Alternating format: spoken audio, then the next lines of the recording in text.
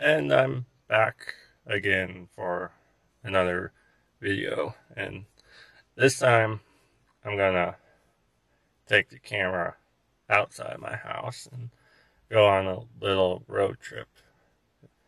It's yeah since I'm uh, working part-time now uh, I I have more free time and yeah so I thought I'd just um, take a day road trip uh, to go out to this uh, waterfall, uh, which right now it's supposed to be really beautiful because there's so much water flowing over it. So that'd be good time to uh, go see it.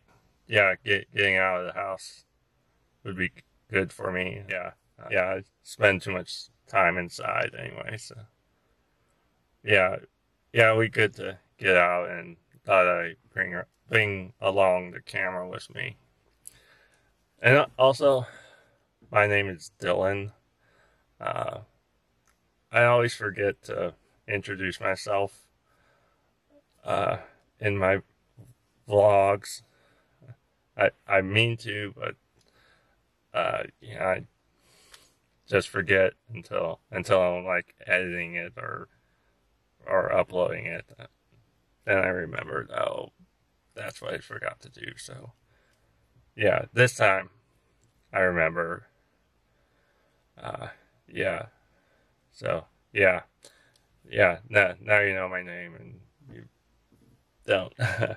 uh, to think of me as just that one guy. And here is the waterfall. Isn't it beautiful? It's called Shoshone Falls. If you think of my home state of Idaho, you probably don't think of waterfalls. If you think of cornfields, you're thinking of Iowa.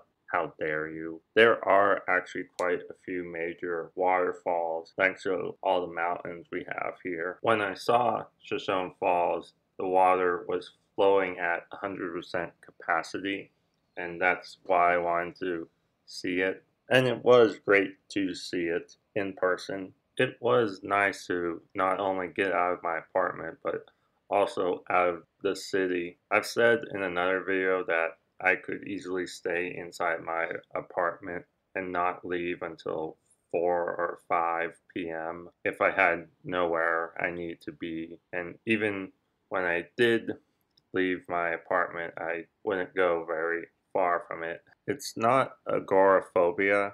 It just, I have no place to go, and it's so easy to stay inside and on my computer. The drive to get to Shoshone Falls wasn't that far, really, so I wish I had actually done this trip sooner. Uh, there's my shadow. And on the drive, I actually thought about that one song, Don't Go Chasing Waterfalls, or whatever it's called.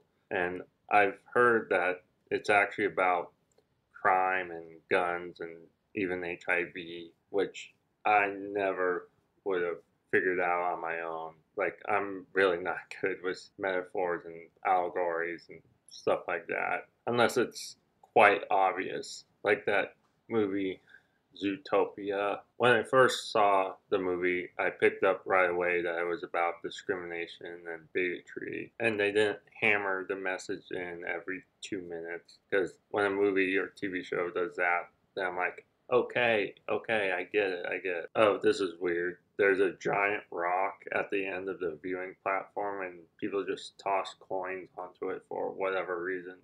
And the reason why those power lines have those balls on them is so that planes and helicopters can see them. And also, it looks like there's houses that people live in right behind the waterfall. I don't know if I would want to live in those houses. That's not a house. I think that has to do with the electricity that's produced through hydropower. So yeah, that was my trip to see a big waterfall and it was nice and I hope to do more stuff like this in the future. So until next video, goodbye.